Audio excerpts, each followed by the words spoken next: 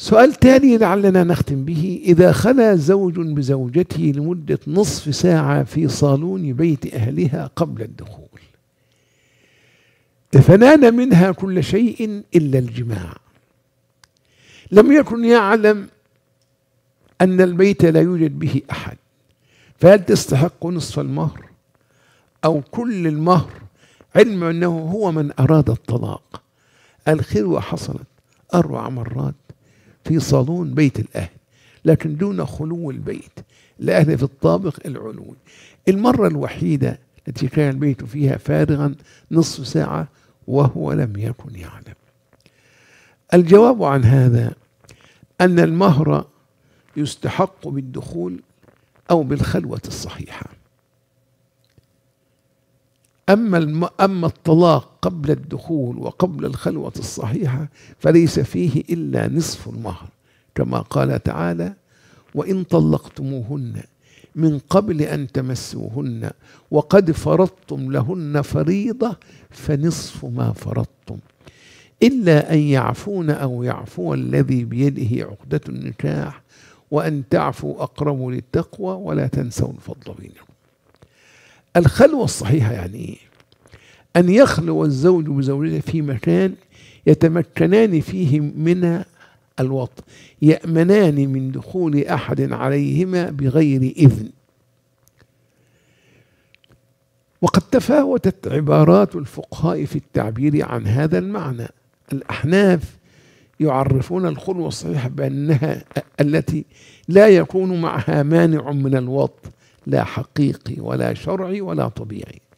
المالكية الخلوة الصحيحة هي خلوة الاهتداء أي إرخاء الستور أو غلق الأبواب أو غيره. عند الحنابلة الخلوة التي تكون بعيدا عن مميز وبالغ مطلقا. إن كان الزوج يطأ مثله وكانت الزوجة يوطأ مثلها ولم تمنعه من الوطء الذي يظهر أن هذه المرات المذكورة إن كانت على وجه على نحو يأمنان فيه من دخول أحد عليهما بغير إذن فهي كافية في تحقيق الخلوة الخلوة الصحيحة يجب بها المهر كاملا على الزوج وتجب بها العدة على الزوج.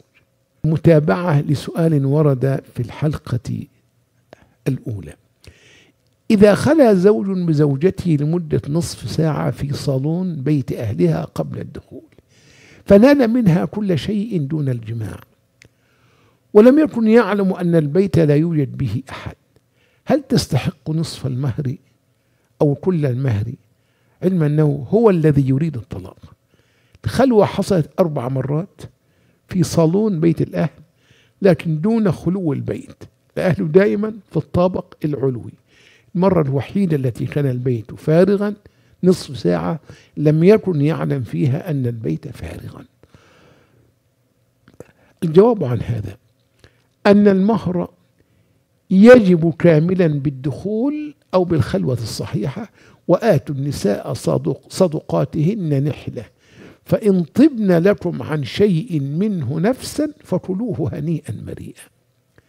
الخلوة الصحيحة أن يخلو الزوج بزوجته في مكان يمكن فيه الجماع بحيث يأمنان أن يدخل عليهما أحد إلا بإذن. عمر بن الخطاب يقول إذا أرخيت الستور وغلقت الأبواب فقد وجب الصداق. وقد تفاوتت عبارات الفقهاء في التعبير عن هذا المعنى. الأحناف يعرفون الخلوة الصحيحة بأن بأنها التي لا يكون معها مانع من الوط لا حقيقي ولا شرعي ولا ولا طبيعي.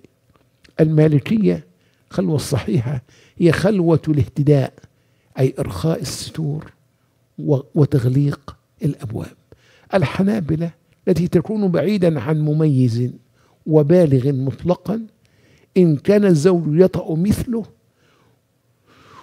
وكانت الزوجة يوطأ مثلها ولم تمنعه من الوطء وصفوة القول.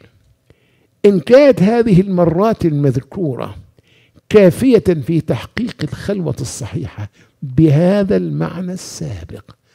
التمكن من الوطء بلا خوف من المفاجأة والدخول بغير إذن فيجب بها المهر كاملا على الزوج وتيب بها العدة على الزوجة وإن لم تكن كذلك فالواجب على الزوج نصف المهر المسمى فقط.